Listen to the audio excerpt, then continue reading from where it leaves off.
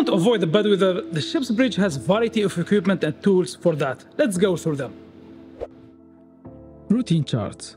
Routeing charts are essential for use in passage planning for ocean voyages. These charts assist bridge officers in high-level route planning information, including wind roses, showing wind speed and direction, the frequency and the intensity of storms and low pressure, ocean currents, sea and air temperatures, air pressure and ice limits based on data averages, and common routes taken by other ships.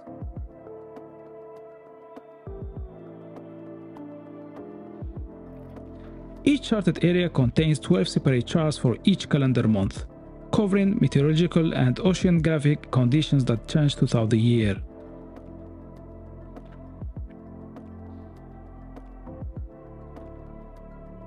Synopsis charts. The circular lines you see on the chart are isobars, which join areas of the same barometric pressure.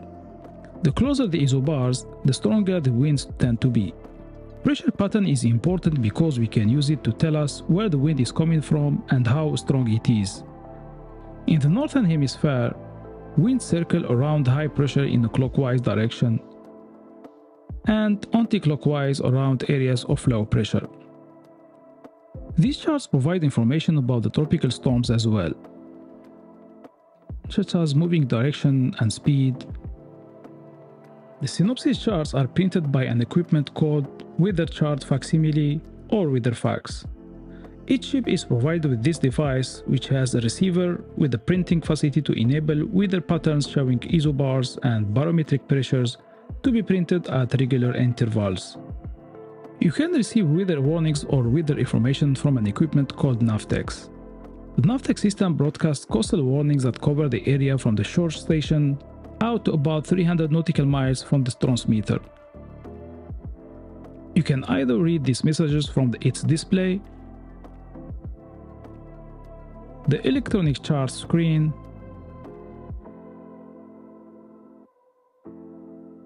or simply through the printout. You can use barometers to predict short-term changes in the weather. Your barometer actually has two different hands, or indicators. The black indicator hand always points to the current air pressure. The gold constant indicator can be turned to match the current barometric pressure. This makes changes easy to see. A change to high pressure means good weather is ahead. Change to low pressure means bad weather is on the way. You can change it, but at least you can be prepared. Barograph A barograph is a barometer that records the barometric pressure over time in graphical form. This instrument is also used to make a continuous recording of atmospheric pressure. Anemometer The anemometer is an equipment which measures both wind speed and wind direction simultaneously.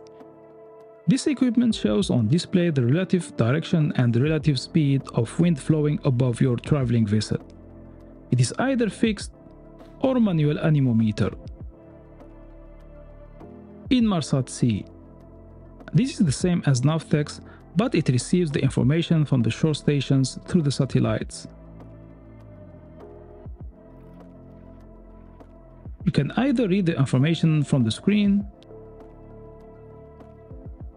or print out.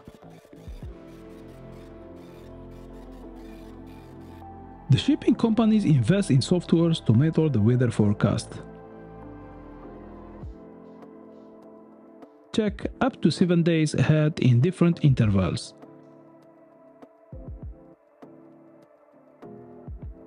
You can select customized displays depending on your monitoring and you can have a full report for any given position. For more checks, you can use online free websites such as windy.com, where you can check the weather worldwide rain and snow, thunderstorm, temperature, humidity, visibility, waves, etc. Up to 5 free days for free account. The second online website is Passage Weather, where you can select different regions the next day's weather conditions. The last website which I use personally is the Japan Meteorological Agency. to track and monitor the hurricanes and tropical storms.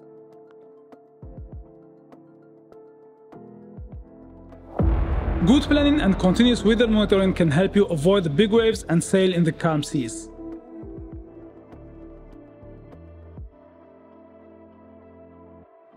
Thumbs up if you liked the video, subscribe to see each other next week. Thanks for watching, bye.